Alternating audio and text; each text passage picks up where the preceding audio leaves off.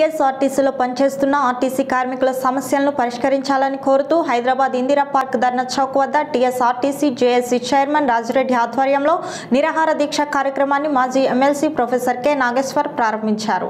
ఈ సందర్భంగా ఆయన ప్రసంగిస్తూ ఆర్టీసీ సంస్థలో ఏర్పడ్డ నష్టాలకు ఆర్టీసీ సిబ్బంది కారణం కాదని ఆర్టీసీ బలోపేతం చేయడానికి ఆర్టీసీ కార్మికులు పోరాటం చేశారని ఆయన అన్నారు. ప్రభుత్వం ప్రవేశపెట్టే వార్షిక బడ్జెట్లో ఆర్టీసీకి రెండు శాతం కేటాయించాలని డీజిల్ వినియోగం తగ్గించడంలో కూడా కృషి చేసిన ఆర్టీసీ కార్మికులకు న్యాయం చేయాలని ఆయన డిమాండ్ చేశారు. పెండింగ్లో ఉన్న వేతన సవరణలు చెల్లించాలి. పెండింగ్లో ఉన్న డిఏలను చెల్లించాలి. పెండింగ్లో ఉన్న డిఏలను చెల్లించాలి. కార్మికులపై పని భారాన్ని తగ్గించాలి. కార్మికులపై పని భారాన్ని తగ్గించాలి. మెరుగైన వైద్య సౌకర్యాలను మెరుగైన వైద్య సౌకర్యాలను! తెలంగాణ ఆర్టీసీ జేఏసీ జిందాబాద్. అనుకూలంగా ప్రజల అవసరం మేరకు బస్సులను నడిపించాలి ప్రజల అవసరం మేరకు బస్సులను నడిపించాలి ప్రజా రవాణాను అభివృద్ధి చేయాలి. ప్రజా రవాణాను అభివృద్ధి చేయాలి ప్రజా రవాణాను అభివృద్ధి చేయాలి వైఖరి చాలి. యాజమాన్యం వంటి వైఖరి చాలి. కార్మికుల ఐక్యత వర్ధిల్లాలి. కార్మికుల ఐక్యత వర్ధిల్లాలి. हमारे मांगे नहीं मिले तो बस का पहिया नहीं चलेगा हमारे मांगे नहीं मिले तो बस का पहिया नहीं चलेगा हमारे मांगे नहीं యాజమాన్యం మండి వైఖరి. యాజమాన్యం మండి వైఖరి. యాజమాన్యం మండి వైఖరి. మా సమస్యలు తీరే వరకు పోరాడతాం మా సమస్యలు తీరే వరకు మా సమస్యలు తీరే వరకు మా సమస్యలు తీరే వరకు మా సమస్యలు తీరే వరకు ఆర్టీసీ జేసి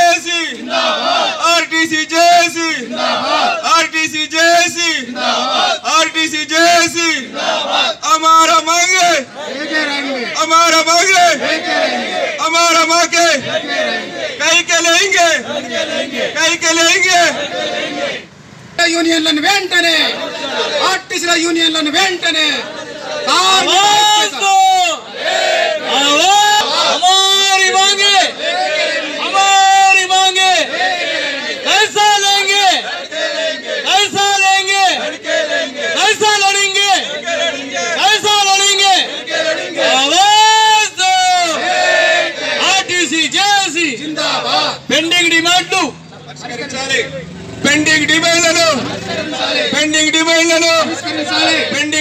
డిమాండ్లను ఆర్టీసీలో ఆర్టీసీ కార్మికులపై యుద్ధం చేస్తున్నారా? ఇవాళ డీజిల్ ధరలు పెరిగితే ఎవరికి బాధ్యత? ఇవాళ ఏదో ఎన్నికలు వస్తున్నాయి కదా అని డీజిల్కు పది రూపాయలు తగ్గించారు వీళ్ళు తగ్గించింది అంతా కలిపి మళ్ళీ వడ్డిస్తారు.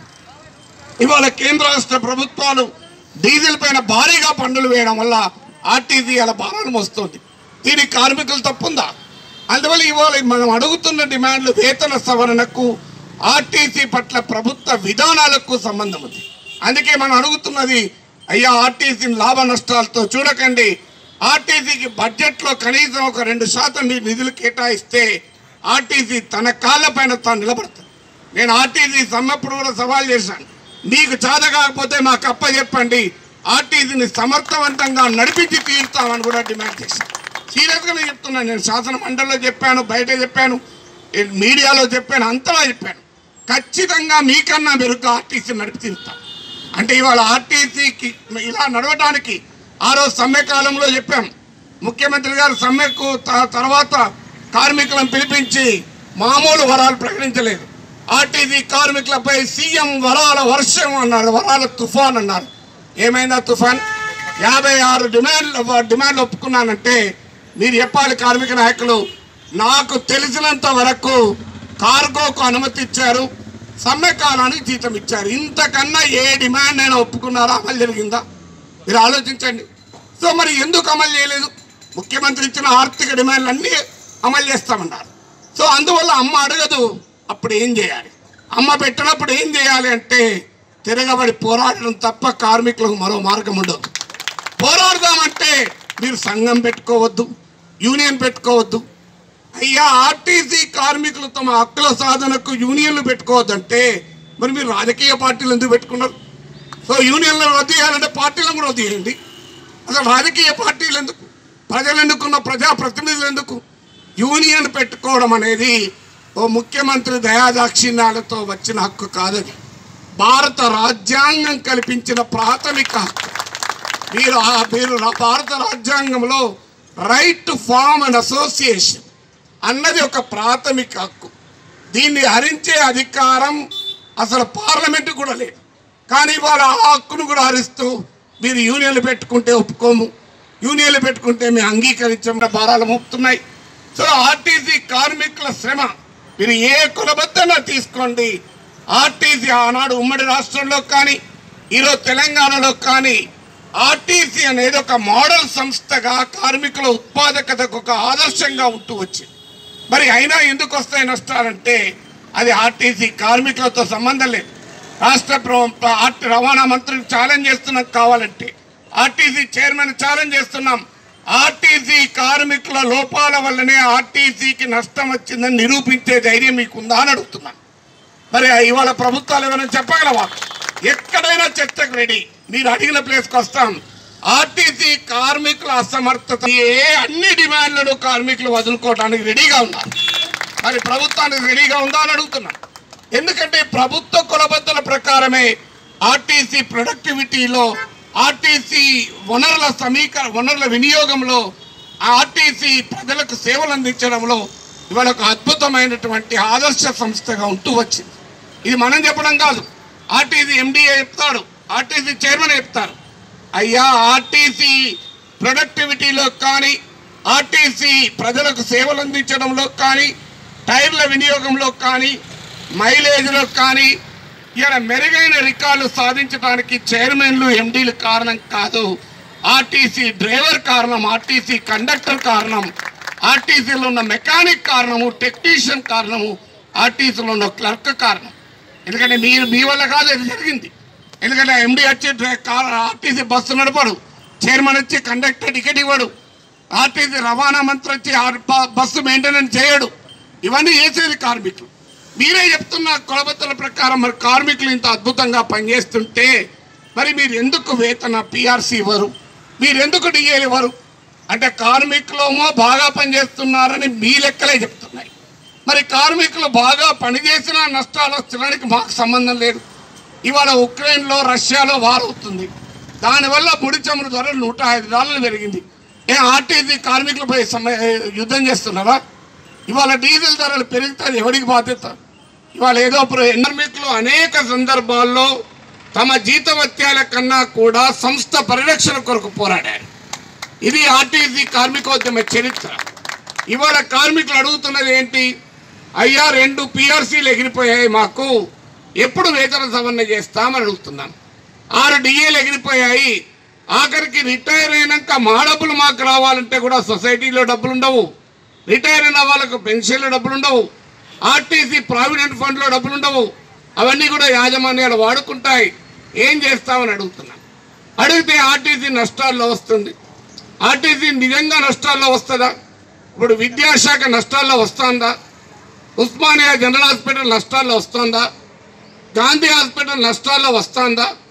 మరి ఇవన్నీ నష్టాల్లో వస్తలేవే. ప్రభుత్వ పాఠశాలలు నష్టాల్లో ఉన్నాయా? నేను ఉస్మానియా విశ్వవిద్యాలయంలో ప్రొఫెసర్ ఇప్పుడు యూనివర్సిటీకి వెళ్ళి ఆడ క్లాస్ చెప్పొస్తున్నాను. మా ఉస్మానియా విశ్వవిద్యాలయం నష్టాల్లో వస్తుందా? అంటే ఎందుకు రావు మరి ఒక పాఠశాల కళాశాల ఒక ఆసుపత్రి నష్టంలో ఎందుకు రాదు అంటే అది ప్రజ ప్రభుత్వాలు దాని లాభ నష్టాల దృష్టితో చూడరు.